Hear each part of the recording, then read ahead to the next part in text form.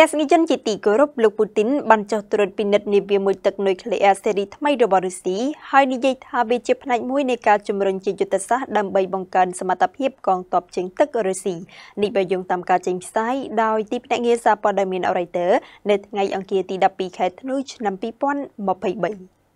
ប្រធានាធិបតីរុស្ស៊ីលោកវ្លាឌីមៀពូទីនបានចុះពិនិត្យនាវាមុជទឹកនុយក្លេអ៊ែរស៊េរីថ្មីចំនួន2គ្រឿងកាលពីថ្ងៃច័ន្ទសប្តាហ៍នេះហើយនិយាយថាវាគឺជាផ្នែកមួយនៃការជំរុញជាយុទ្ធសាស្ត្រដើម្បីបង្កើនសមត្ថភាពកងទ័ពជើងទឹករុស្ស៊ី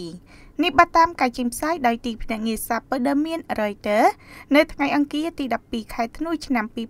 2023លោកពូទីនបានចុះទៅដល់ទីក្រុង Severod វិញដើម្បីត្រួតពិនិត្យនាវាមុជទឹក Krasnoyarsk និង Emperor Alexander Desert ដែលជាកន្លែងសាងសង់នាវា Semas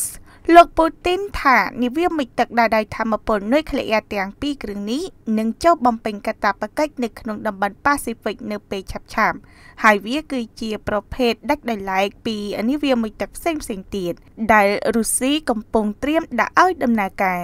លោកពូទីនបានគូបញ្ជាក់ថាយើងនឹងពង្រឹងបន្ថែមនៅការត្រៀមខ្លួនប្រយុទ្ធរបស់កងទ័ពជើងទឹករុស្ស៊ី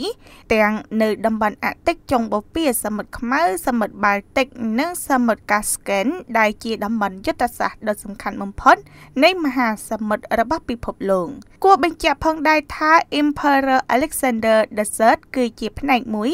នៃនាវាមុជទឹកនុយក្លេអ៊ែរចំនួនថ្មីរបស់រុស្ស៊ីដែលរចនាចេញពីស៊េរីដំបូងគេនៃសម័យសង្គ្រាមត្រជាក់ រីឯ Krasnoyarsk គឺជានាវាមុជទឹកបំពាក់ដោយមីស៊ីលរយៈចម្ងាយឆ្ងាយនិងកំណត់គោលដៅជាក់លាក់ដែលលោកពូទីនបរិយាយថាអាចវាយប្រហារបានទាំងគោលដៅនៅក្នុងសមុទ្រនិងនៅលើដីគោក